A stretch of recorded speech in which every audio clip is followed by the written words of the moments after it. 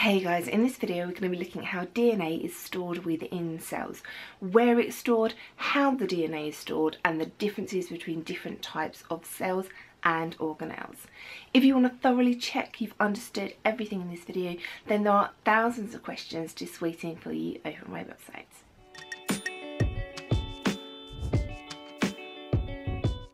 DNA within cells is stored in the nucleus.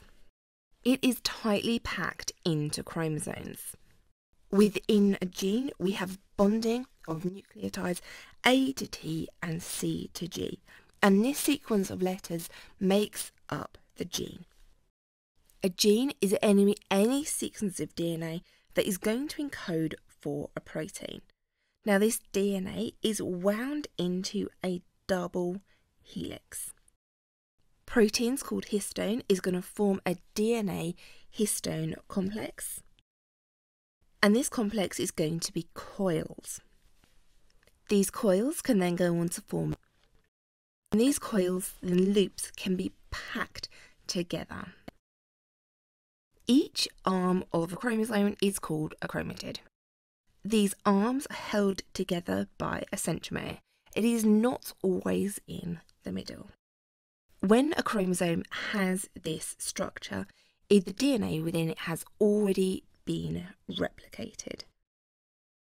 This structure, this type of structure, is only visible and only present during cell division. For the rest of the time, DNA is not packed into this structure. The DNA within prokaryotic and eukaryotic cells is stored differently and does different things.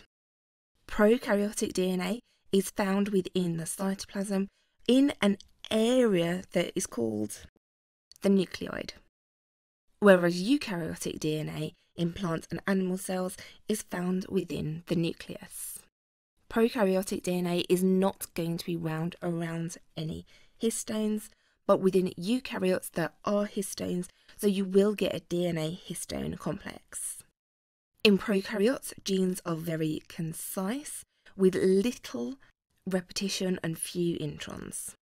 DNA in prokaryotes has lots of non coding DNA and lots of introns. And finally, eukaryotic DNA is linear, whereas prokaryotic is going to be circular. Mitochondria has its own DNA. These are small circular sections of DNA which are passed from the mother via the egg cells.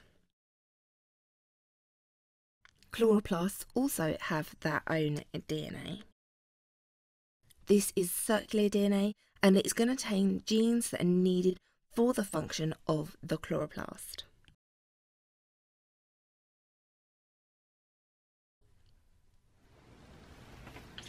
Ouch!